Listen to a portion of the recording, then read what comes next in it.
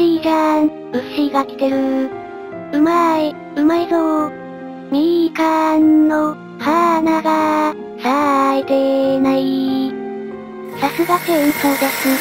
ノコギリで切ったら、何十分もかかったと思います。よしよし、手の上に乗ってきたね。かわいいねー。あ、あー、あのお尻はー。絶対あの子だー。あの子を、あの子のお尻です。捉えたー。すごいです。一瞬の早技でしたね。なんかいいたげな目ですね。鎌之助ー。鎌之助は可愛いやつだなぁ。鎌之助のケースの横には、鎌太郎ジュニアの卵があります。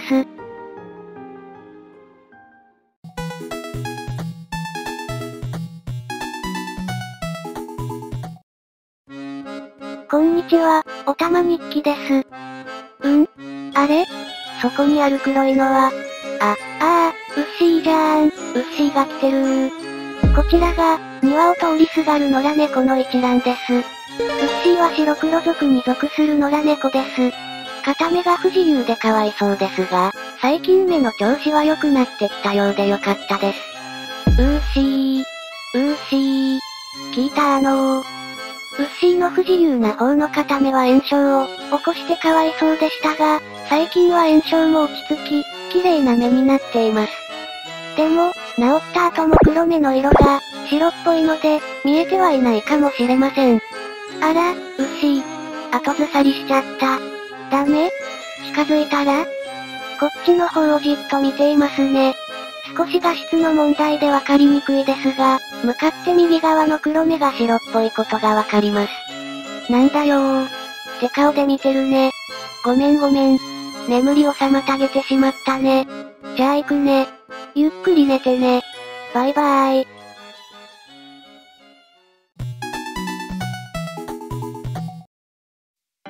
7月最後の日になりました。先日、家庭菜園で採れた唐辛子で作った三条漬けを納豆にかけ、朝ごはんを食べます。いやー、うまそうだなー。うまーい、うまいぞー。麹の旨味、そして唐辛子の辛さがたまりません。病みつきになる美味しさです。三条漬けの作り方は、以前公開した、カマキリ日記90で説明しましたので、興味のある方はご覧ください。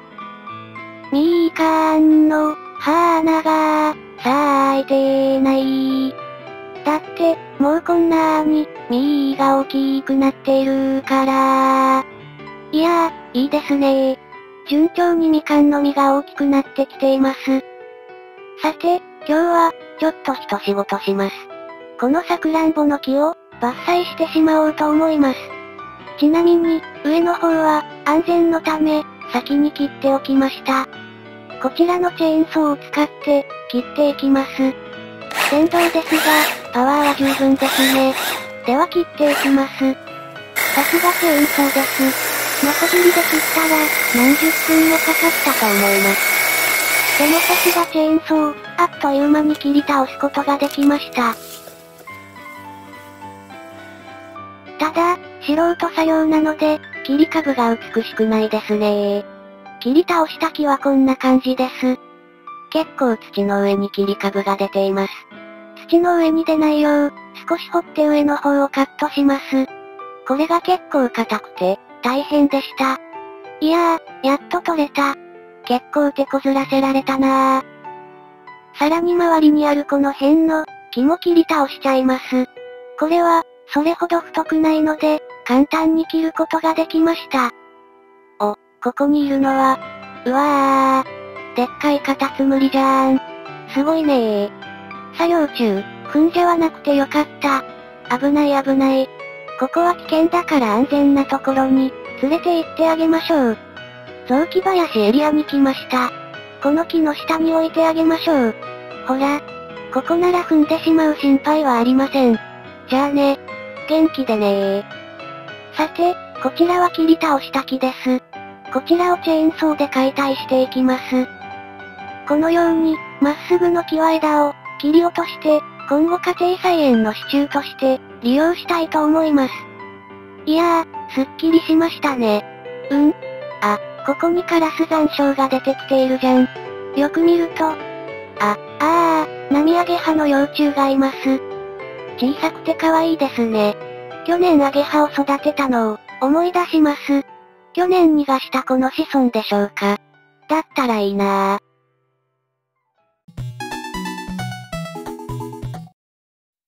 うん？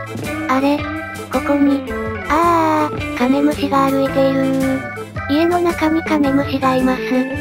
お、おそして、カマノスケのケースに近づいていきますね。どうかな？うん？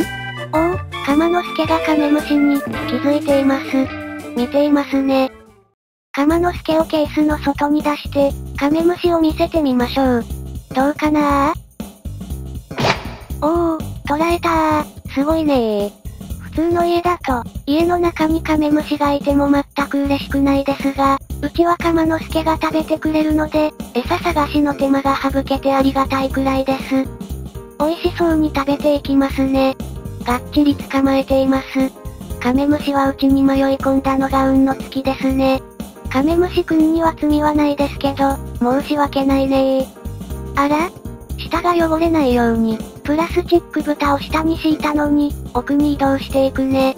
カマノスケは食べながら歩くことが、結構あるよね。この場所で食べるかな？と思って、カメラを固定したら、あらら、また上の方に移動するじゃん。おお、やっと食べ始めた。カマノスケあんまり食べながら動かないでよね。動かれると撮影が大変なんだよ。え？そんなの聞いてないって？食べやすい体勢で食べたいって？ごめんごめん、そうだよね。だけどさ、体が逆さまの状態で、食べやすいの？なんか消化に悪そうだけどな。でも、体の中を、重力に反してカメムシが上がっていくのがわかります。カマノスケはこの体勢がいいんだよね。美味しそうに食べていくねもうごちそうさまです。運悪く家の中をうろうろしていたカメムシくんに、感謝です。カマノスケー。ご飯を食べ終わったね。体をケースから乗り出していますね。ほらほら手に捕まりなさいよどうかな？怖くないよ怖くないから乗っておいでよしよし、手の上に乗ってきたね。かわいいねー。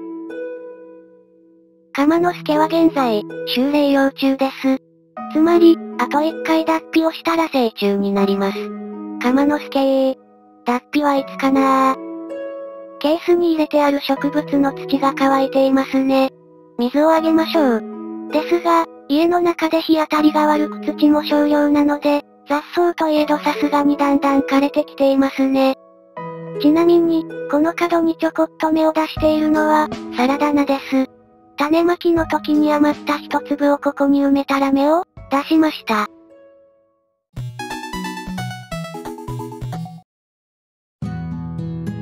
暦は8月になりました。夏本番です。夜、家の窓には、雑木林エリアから飛んできた虫たちがたくさんついています。家の光に集まってきたんですね。蚊やハエも集まっています。ていうか、コガネムシの数がすごいね。大量に飛んできています。カブトムシとかクワガタは、いないかな去年はカブトムシも結構いたんだけど、今年はまだ一度も見ていませんね。あ、あー、あのお尻は絶対あの子だあの子を、あの子のお尻です。あの子は、庭を通りすがる野良猫のうち、毛並みが茶色の茶族に属する野良猫です。あの子は尻尾が短く、まるっとしたお尻をしているので、後ろ姿ですぐにわかります。あの子を、また来たのをあら、ゆっくり家庭菜園の奥に、歩いていきます。行っちゃったねー。と思って家に入ると、あ、あー、戻ってきて、縁側で寝ているじゃーん。あーあのー子のんびりしているね。ちょっとあの子が寝ている様子を、カメラを固定してタイムラプスで、撮影してみましょう。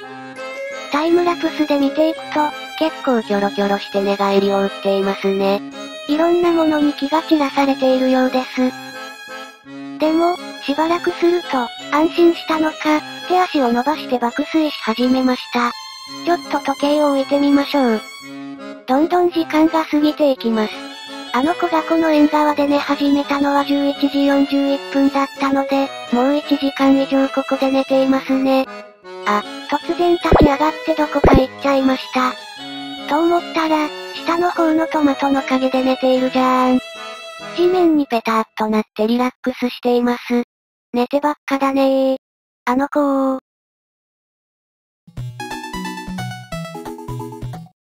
鎌之助のご飯を捕まえてきました。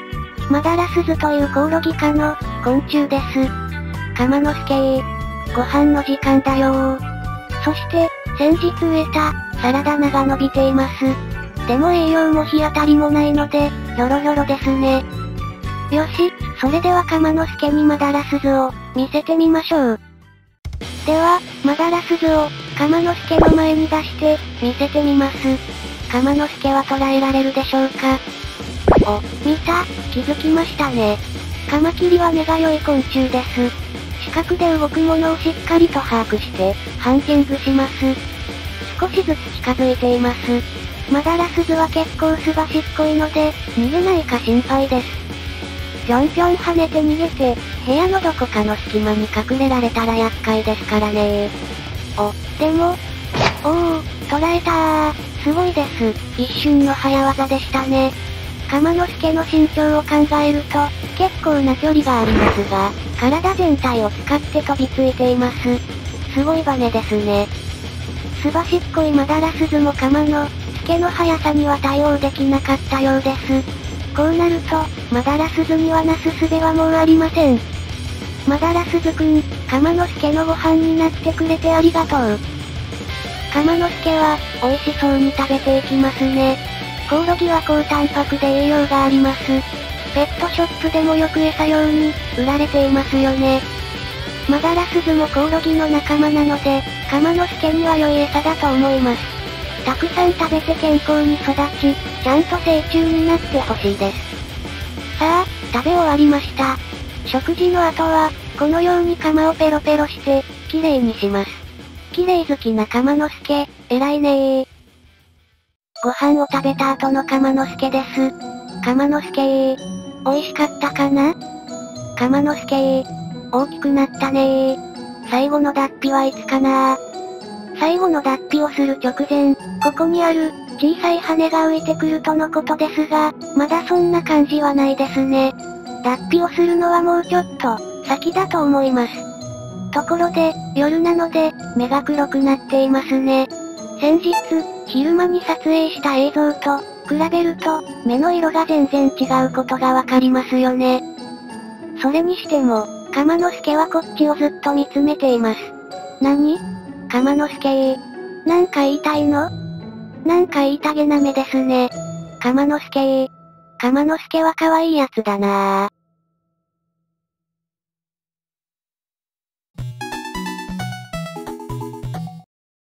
8月2日になりました。鎌之助のケースの横には、鎌太郎ジュニアの卵があります。ついに卵のまま8月になってしまったか変化はありません。ずっと待っていたけど、会えないかな。待っているんだけどな正直、時期的にもう難しいと思います。でも、卵はここに置いて、いつまでも待っていたいと思います。鎌之助はもうすぐ成虫だよ鎌太郎ジュニア鎌太郎ジュニア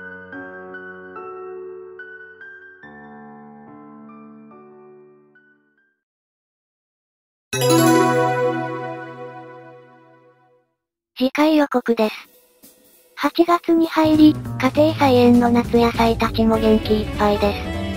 あ、プチーナゴくん、こんなところにいます。あ、あのお尻は絶対あの子じゃーん。あーあのー子あそこにアブラゼミがいます。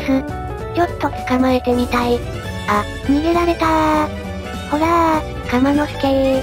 横ばいをあげるよー。それでは、今日の動画はこの辺で。ご視聴ありがとうございました。